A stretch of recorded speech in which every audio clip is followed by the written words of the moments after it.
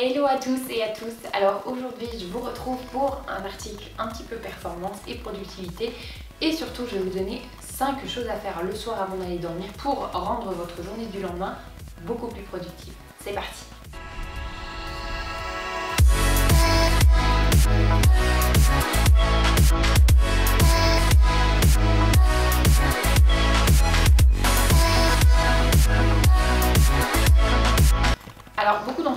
euh, considèrent qu'une bonne nuit de sommeil, en fait c'est simplement le fait de dormir. Ah pas du tout. Il y a beaucoup de choses qui font que vous allez passer une bonne ou mauvaise journée le lendemain. Et la première chose c'est non seulement le nombre d'heures que vous allez dormir, si bien entre 7 et 8 heures de sommeil par nuit. Deuxièmement, les conditions dans lesquelles vous allez vous endormir et surtout à quel point vous allez être reposé le lendemain. Parce que autant vous dire, vous dormez 8 heures par jour, si le lendemain vous avez 15 minutes pour vous laver, vous préparer, manger votre petit déjeuner, préparer votre sac, vous êtes dans la merde pour la journée. Je vous clairement, vous êtes dans la merde pour la journée. Bref, avant d'aller plus loin dans cette vidéo, n'hésitez surtout pas à vous abonner ici en bas, ça me ferait extrêmement plaisir et ça aide à développer la chaîne. Également, vous pouvez activer la cloche de notification pour savoir quand je poste une nouvelle vidéo.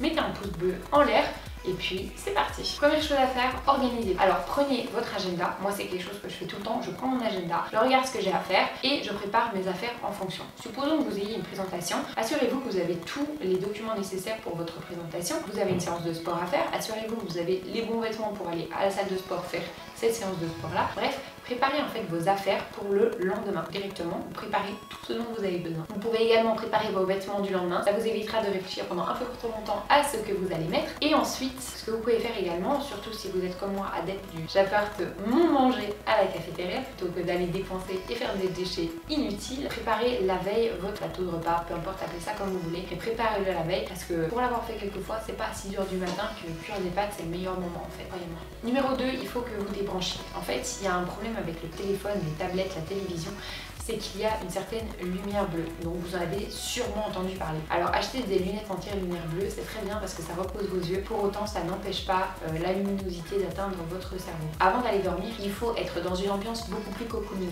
avec des lumières beaucoup plus tamisées et euh, beaucoup moins de bruit en fait. Pour signaler à votre cerveau ça y est tu peux lancer la mélatonine pour commencer à se mettre en mouvement pour aller dormir. Donc voilà il faut débrancher et moi ce que je conseille de faire c'est de débrancher au moins une demi-heure avant plus si vous le pouvez. Même si j'avoue que ces temps-ci ça devient un peu difficile avec euh, les connexions qui sont partout en tout cas assurez-vous de faire au moins une demi-heure avant d'aller dormir. Profitez-en pour faire un peu de yoga pour lire un livre. Bref il y a plein de choses à faire sans écran. Profitez-en et surtout reposez vos yeux. Numéro 3 prenez soin de votre corps. Alors j'entends par là le fait de justement vous faire un petit moment cocooning. Par exemple, vous mettre de la crème, vous mettez de la crème sur les mains, les pieds, bref, vous mettez de la crème partout. Mais pas que. Alors, beaucoup de gens ont tendance à acheter des matelas de faible qualité, sachant que sur une vie entière, on dort à peu près 23 000 heures sur un matelas. Euh, que ça devient important d'acheter un bon matelas sur lequel vous allez vous sentir bien et bien dormir. Donc n'hésitez pas, enfin pour moi c'est pas une dépense inutile que d'acheter un très bon matelas. Numéro 4, comme je vous le disais un petit peu plus tôt, lisez. Lisez, lisez, lisez un peu toute la journée, ça va vous détendre. Lisez euh, avant d'aller dormir surtout. Et puis si euh, c'est quelque chose qui vous intéresse, je vous mets dans le petit i, il me semble qu'il est là, les 5 livres de développement personnel que je conseille pour commencer. Donc voilà, si vous voulez vous mettre au livre de développement personnel, c'est très très bien. C'est également super le matin en fait pour booster votre journée, la mettre dans les conditions idéales. Si par exemple vous aimez à la fois la littérature et le développement personnel, alors dans ce cas-là, je vous conseille la littérature le soir et le développement personnel le matin parce que le problème du développement personnel, c'est que parfois on peut être un peu trop excité et qu'avant d'aller dormir, c'est pas super.